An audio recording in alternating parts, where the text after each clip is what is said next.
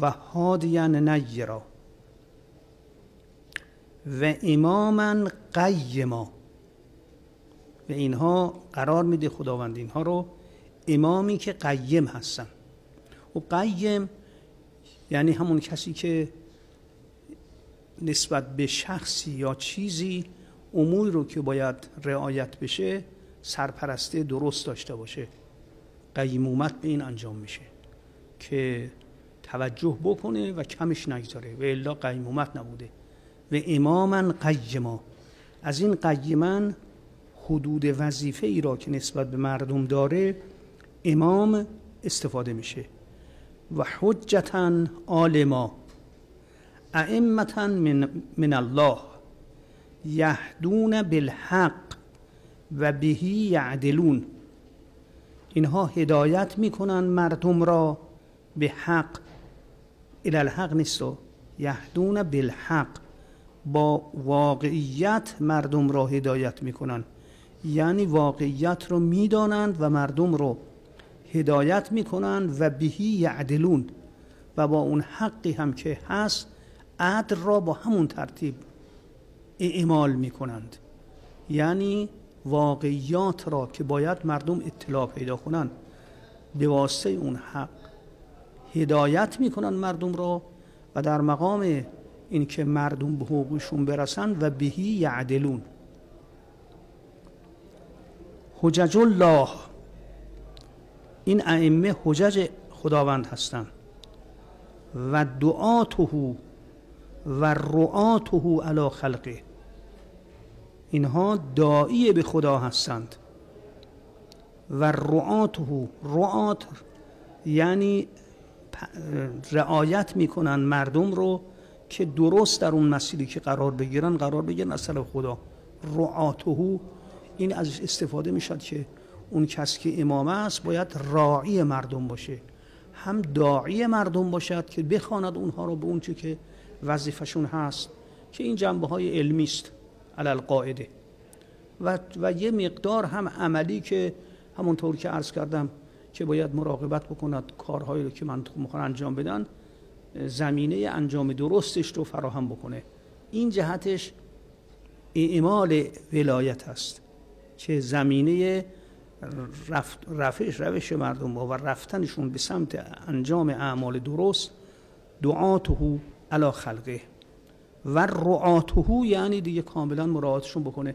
همون معنایی رو که عرض کردیم که ولایت رو اقتضا می‌کنه اونجا ببینید قیمن بود اینجا هم رعاته علا خلقه. یدین به هداهم العباد. مردم اطاعت می‌کنند با هدایتی که اینها دارن. و تستهل به نورهم البلاد. و صدا بلند می‌کند به نوری که اینها دارن. صدای بلاد بلند میشه به نورهم. یعنی چی؟ یعنی قهرن اینها به خاطر نور و هدایتی که دارن که در همه جا و در کل کشور کارهایی رو که باید انجام بدن انجام میدن همه بلاد تستهل به نورهم. یعنی نور اینها باعث می‌شد که بلاد در یک مسیر درستی قرار بگیره که فریاد به خوبیش بلند بشه استحلال. و ینمو به برکت همو تلات نمو پیدا می‌کنه به برکتی که این ائمه دارن تلات. تلات به معنای اموال قدیمی است که چند وقت مونده است ازش استفاده نشده. یعنی اینها کاری می‌کنن که تمام اون اموالی که قابل استفاده هست و میشه ازش بهره گرفت نمو پیدا کند. ینمو تلادو به برکت هم تمام تلاد و اموالی که در کشور اسلامی هست که چه بسا از زمانهای قدیم مونده ینمو به برکت. هم که اگر بخوایم تطبیقش بکنیم هم معادن میشه هم فرض کنید که چه بسا زمین هایی که این زمین ها موات بوده ازش استفاده نشده ینمو به برکت مطلات. این برکتی هم که اینها هست یعنی برکت یعنی خیر. خیری که از ناحیه اینها عموم پیدا می‌کند در کل کشور زران پیدا کنه ین مطلادو به برکت هم هم مسائل پیشرفت های صنعتی رو میرسونه همین که از اون معادنی که احیانا در خود کل کشور هست یا امکاناتی دیگری که میشه ازش استفاده کرد و هنوز استفاده نشده ینمو به برکت مطلعات. یعنی اینا اینطورند. که این ارزش با ارزش میشه یعنی ارزش افزوده پیدا می‌کنه. نه ینمو ینمو غیر از ارزش افزوده است. ینمو آجا نموه. یعنی رشد پیدا می‌کنن نه اینکه قیمت پیدا می‌کنن مثل که ارز کنم که درختی رو حبه ای رو بکاری نمو پیدا می‌کنه بزرگ میشه. نه فقط قیمت پیدا می‌کنه. نمو اگر بخواد باشه مثل یه گوسفند چاق بشه نه اینکه گوسفند که بوده باشه قیمت بازاری زیاد بشه. ینمو به برکت مطلات. و قهرن مصداق درستش که بخوام بدون مسامحه باشه همین است که عرض می‌کنم. زمین های مواتی که هست ازش استفاده نشده. وسایل استفاده از اونها و کشتشون به واسطه دانهایی که کش می‌شد و زر میشه یا درخت ها و نخل هایی که درشون کشته میشه یعنی نمو به برکت مطلات. و یا معادن. اینا همش مصادیقشه دیگه. یعنی اینا اینطورن. نه اینکه حالا برکت رو شما بخواید منحصرا بگید که اصل وجود امام یک خیر و برکتی داره بدون اینکه کاری انجام بگیره در خارج. وجودشون موجب این تحقق این. نه ینمو به برکت مطلات نمو پیدا می‌کنه. نمو پیدا کردنش همین است. و اینم برکت هست بهترین برکت هست که کاملا مراقبت کنه که اون چرا در کشور هست که میشه ازش استفاده کرد ولو با زحمات فراوانی که جدیدی که احداث صنعت بشه کارهای تازه باشه ینمو به برکت مطلات اینا اینطورن. وقتی بردارند ارز کنم که زمینی رو که مانده بکارند یا اون چرا که در این زمین هست از نفت و گازی که موجوده یا از این احجاری که در چیزهایی رو که مس و روی و آلمینیوم و اینها همش در بیارن یعنی مبارک مت همه اینا رو شامل میشه. و وقتی ما بخوایم مسامحه نکنیم و اون چیز که ظاهر لفظ است اخذ کنیم قهرن همه اینا مصادیقش میشه. و ینمو به برکت مطلات جعلهم الله حیاتا للانام. حیات برای مردم قرار داده خداوند اینها رو. و مسابیح للظلام و مفاتیح للکلام که اینها مفتاح کلامن که حرفای درست رو قشنگ می‌تونن بزنن. کمون که اینطور بودن البته اینا ائمه هستن توجه دارم. و دعائم الاسلام اینا ارکان اسلام هستن. اسلام رو هم بیان می‌کنن که بود تو فرمایش عبارات جلوترش. و همین که وقتی که سرپرستی از امت اسلام کردن و اسلام در خارج تحقق پیدا کرد به نحو مطلوب همه مردم می‌فهمند که اسلام می‌تونه درست زندگی بشرها رو تأمین بکند و اداره بکند. و دعا عمل الاسلام. و جنت بذالک فیه مقادیر الله تعالی علی محتومها. مقادیر و اون چیزهایی رو که عرض می‌کنم که خداوند در نظر گرفته که در مرحله قدر است که ممکن است تحقق پیدا بکنه و جرد بذالک فیه مقادیر الله به وسیله اینها جریان پیدا می‌کنه و اون مقادیر فعلیت پیدا می‌کند. علا محتومه ها بر به نحو محتومی که برای این مقادیر الله هست که حتما باید تحقق پیدا کنند که قدرها میشن قضا همه. بعد این قسمت زیادی اینجا هست که بیشتر عرض می‌کنم که صفات امام رو ذکر می‌کنه که صفات شخصیشون هست و اینکه اینها دارای کمالات بزرگی هستن من اینها رو نمی‌خونم. فل امام هو المنتجب المرتضا و الهاد المنتجا و القائم المرتجا استفاه الله بذالک و صنعه علی عین فی الزرحین زرعه اینها چون مربوط به ائمه معصومین علیهم السلام هست و مربوط به انجام کارهایی که می‌کنن نیست من اینها نمی‌خونم. تا اینکه میفرماید فعزن قضت مدت و والده. وقتی که مدت پدرش تمام شد. چون همه اینها فرمودن که من عقب کل امامون امامین امامون. حالا اون امام قبلی که پدر است و امام است وقتی تمام شد این امام بعدی میاد امامت رو اعتدار میشه. باز اینجا کارهایی که امام بعدی می‌کنه ذکر کرده. فعزن قضت مدت و والده الا ان انتهت بهی مقادیر الله الا مشیتی تا اینکه منتهی شد به این امام جدید مقادیر و اون قدرهایی رو که خداوند انتهت بلا الا مشیته. به مشیت الهی منتهی شدن. اون چه خدا می‌خواست نسبت به او انجام گرفت که از دنیا رفتن اون امام باشه و جانشین شدن این باشه. یا فقط این انتهت بهی مقادیر الله الا مشیته یعنی مقادیر خداوند نسبت به امام قبلی منتهی شد. فعزن غزت مدت و والده و جاعت الارادت من الله فیه الی محبته. اراده از ناحیه خداوند در اون امام قبلی یا در امام بعدی. به محبت خدا منتهی شد و محبت خدا یا اینکه اگر امام بعدی باشه جاعت الارادت من الله فیه در این امام بعدی به محبت خدا که محبت لطف خدا نسبت به این فعلیت پیدا کرد و بلغ منتها مدت والده و رسید به اون منتها زمانی که برای والدش بود فمزا و سار امر الله علیه.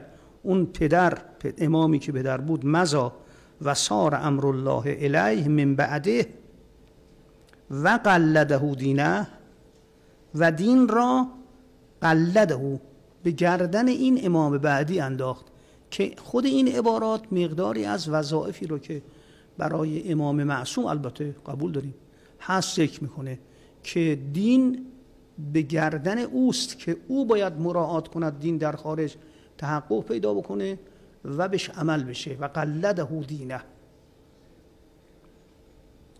و جعله الحجت علی عباده و او را حجت بر بندگان قرار داد و قیمه فی بلاده. باز ملاحظه کنید. یعنی بعد از اینکه امام اول مرد این دومی رو قیم خود قرار داد خداوند در بلاد. که بلاد را و مردم بلاد را سرپرستی و قیمومت باید داشته باشه. و ایده به روحه و آتاه علمه و انبعه فضل بیانه و به او اطلاع داد اون فضلی که در بیانش هست که فضل بیانه یا فصل بیانه. یعنی بیانش که فاصله بین حق و باطل است یا بیان صحیحی که خدا به امام مرحمت می‌کنه بهش مرحمت کرد. و استودعه سره به عنوان ودیعه سر خود را در نزد این امام جدید گذاشت. انتدبه لعظیم امره و او رو انتخاب کرد برای امر عظیمش که همون امامت باشه. و انبعه فضل بیان علمه. اینجا دیگه فصل نیست و به او اطلاع داد اون فضلی را که در بیان علم الهی هست. و نسبه علما لخلقه و جعله حجتا علی اهل عالمه و زیاء لاهل دینه و القیم علی عباده. وقتی خود این را به عنوان حجت بر عالم و علم و نشانه حق و باطل برای خلق و زیا و نوری که مردم را به درستی ها هدایت می کند قرار داد و قیم بر بندگانش قرار داد. باز ببینید و القیم علی عباده که وقتی امام شد امام صرف این که احکام رو بیان بکند نیست. هم ینمو به برکت مطلع بود و همین که جلوتر فرمود حالا دوباره میگه قیم بر بندگان است. یعنی بندگان در اختیار او هستن که باید سرپرستشون بکنه. رضی, رضی الله بهی اماما لهم خدا راضی می شود به اینکه این امام باشه برای مردم. استودعه سره. اسرار خود را به او میآموزد. خب این جهات فوق العاده و اضافی است که چه بسا در مردم معمولی نباشه. به خاطر امام بودن او که ارتباط با عالم غیب داره استودعه سره. در نزد او به ودیعی می‌گذارد اسرار مخفی خود را. و استحفظه علمه. استحفاظ درخواست نگهبانیه. یعنی از اون می‌خواهد که علم الهی رو حفظ کند. تمام اون چرا خداوند نسبت به احکام الهی داره از امام می‌خواهد که اونها رو حفظ کند که نکند سر سوزنی بهشون لطمه وارد بشه. این همون مسائلی که عرض کردم اصل نظارت بر اجرای احکام الهی و زمین سازی برای اینکه مردم درست به احکام عمل بکنن جزء وظایف ولی امر است. از این اسم بله. و استحفظه علمه. و استخبعه حکمته. از او خواسته است که استخبعه یعنی به صورت مخفی در نزد او حکمت خود را می‌گذارد. اینطور معنا کرده پاورقی که عرض می‌کنم که استخبعه بالخاء المعجمه یعنی اود عنده و امره بالکتبان. و استخبعه حکمته. و استرعاه لدینه. و از او تقاضا می کند که و درخواست و امر می کند که دین الهی رو راعی باشه. ببینید راعی للعباد بود راعی للدین هم باید باشه. و استرعاه لدینه و انتدبه لعظیم امره و احیا بهی مناهج سبیله و زنده می کند به واسطه او وقتی که امام شد راههایی که برای رسیدن به خود هست. زندش می‌کنه که در این راه ها مردم واقعا قرار بگیرن و به اون چه که خواست خداست برسن و از اون چه که منهیات و سخط الهی است دور شوند. و احیا بهی مناهج سبیله و فرائزه واجبات الهی را به واسطه این احیا می‌کنه. احیا صرف این نیست که بگید بلکه بالاتر این که هم بگوید هم سرپرستی و دنبال کند که تحقق پیدا کنه. و احیا بهی فرائزه و حدوده و حدود خود را به واسطه این احیا می‌کنه. احیاء حدود به واسطه این می‌شد که قهرن کاملا سرپرستی و نظارت بر امور مردم داشته باشه و اگر کسی خلاف کرد در حدود الهی را به همون حدی که خدا فرموده تنبیهات و تحذیرات نسبت به اجرا کنه. فقام بالعدل.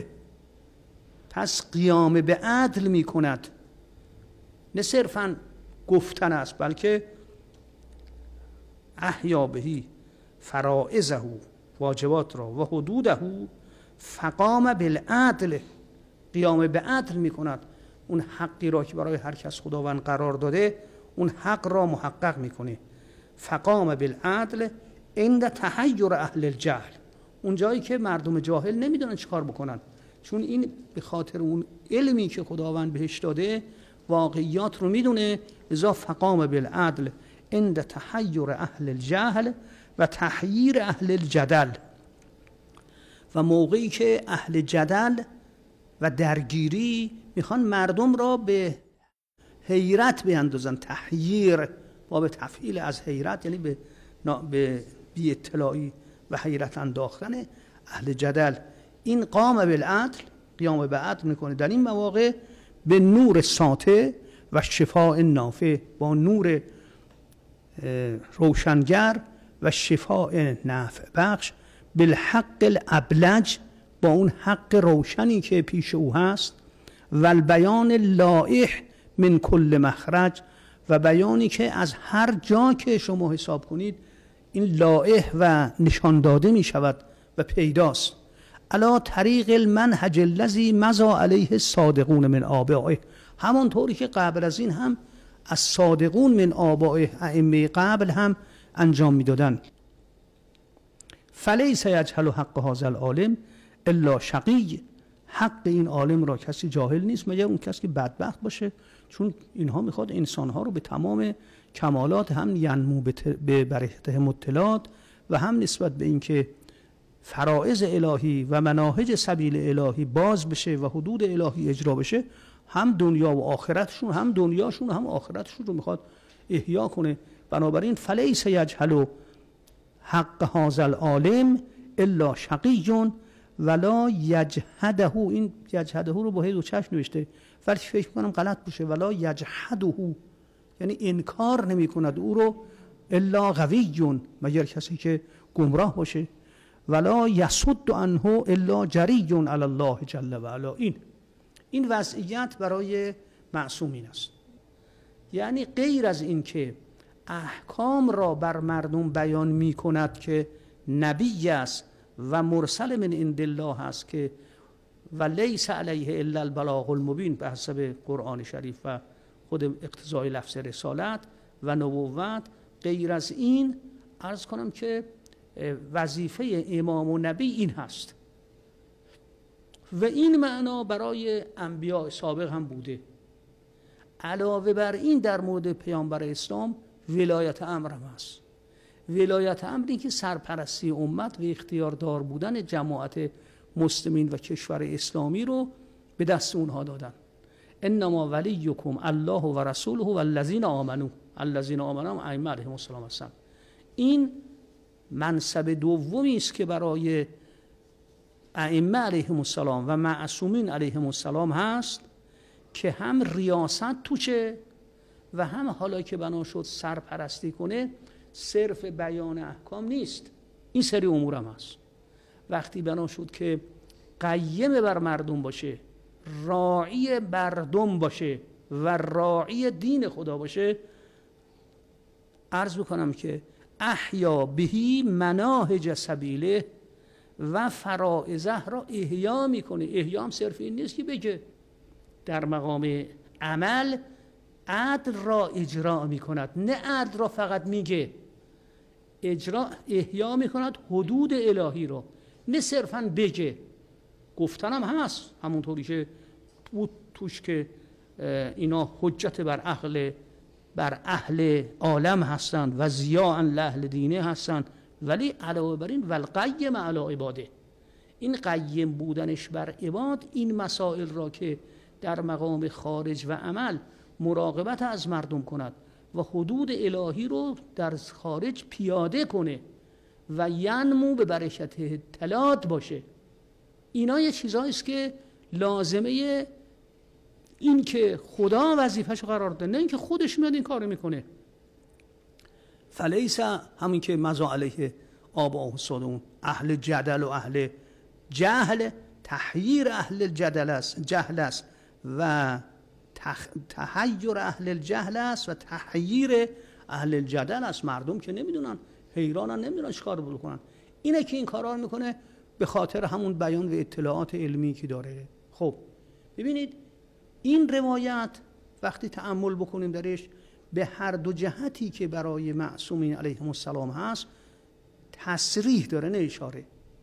هم مسئله قیم بودن و راعی بودن اینها و اینکه در مقام اجراع احکام الله حدود را اجرا می‌کنن فرائض رو زنده, زنده می‌کنن با همون اطلاع کاملی که دارن و عدل را احیا می‌کنن در خارج. احیا عدل در خارج به صرف گفتن نیست که. این روایت دلالت بر این جهت دارد که اون ولایتی من ببینید نمی‌خوام تجاوز کنم از مورد روایت تا حالا. یعنی اون چرا که خداوند برای پیامبر و امام قرار داده است که ولایت امر و قیم بودن و راعی بودن است اینها را متعرض شده. که اینها وظایف الهی است که میدونندن باید چیکار کنن. کوتاه هم نمیان. و از این جهت آخرش هم میفرماید که فلیس یجهل حق هازل عالم الا شقیون. جاهل به این حق این شخص نمیشه. یه آدم بدبخت؟ ولا یه آدم خوشبخته باشد که وسایل زندگی اونطوری که باید براش روشن باشه میاد دنبال دست این آقا رو میبوسه که آقا تش بیارید کار رو انجام بدید. زندگی ما رو دنیا و آخرت ما رو شما احیا می‌کنید. ولا یجحده الا قوی و یک کسی که قوی باشه و و غین که گمراه باشد و نفهمه و الا هیچ کس منکر این نمیشه. بهترین انسانی که می‌تونه برای انسان ها در مسیر الهی کار کنه اینان هستن. بنابراین این سری امور بلا شبه بیان کیفیت ولایت امر اینها است. اون وقت تا اینجا من قبول دارم و عرض می کنم که غیر از این که می‌خواد ولایت امر معصومین رو علیهم السلام بیان بکنه چیزی در نمیاد. ولی خب شکی نیست که ما می‌فهمیم از این که یعنی ولایت امر الهی که خدا بر اینها قرار داده هم آدمای صاحب صلاحیت هستن خصوصیات علمی و کمالی که براتون ذکر کرد و هم صاحب عمل به وظیفه هستن. عمل به وظیفه اصلا کمش نمی‌ذارن. اون وقت وقتی که اینطور بود این بیان کیفیت حکومت اسلامیه ولایت امر الهیه. و اگر ما ولایت امر را در مورد غیر معصوم هم با ادله اثبات کردیم نتیجه این می‌شد که این روایت بیان می‌کند که اونها هم باید کاملا مراعات بکنن راعی مردم باشن قیم مردم باشن و احیاء فرائض و حدود کنند و قیام به عدل بکنن بالبیان اللائح من کل مخرج برای اونها البته بیانی است که احکام اسلامی رو تون مطلع بر اسلام هستن احکام اسلامی رو اجرا کنن و تقریبا اجرای همون مصداق عامی که حضرت امیر سلام الله علیه فرموده که اخذ الله علی العلماء الله یغار رو علی کذت ظالم ولا سقب مظلوم باید اونو اینطور باشن. به این ترتیب که چون این بیان تحقق و کیفیت تحقق صحیح حکومت و ولایت اسلامی هست ما استفاده می‌کنیم که پس اگر ما برای غیر معصوم هم در زمان غیبت گفتیم ولایت امر به اون می‌رسه این ولایت امره این ولایت امر الهی است. این خلاصه استفاده ای که از مثل این روایت می‌کنیم و منحصر به این روایت هم نیست. حالا راه های دیگری هم برای اثبات اصل مطلب داریم که شاید یکی دو رو برسیم فردا انشالله بحث کنیم. ان الله علی محمد و آله طاهرین.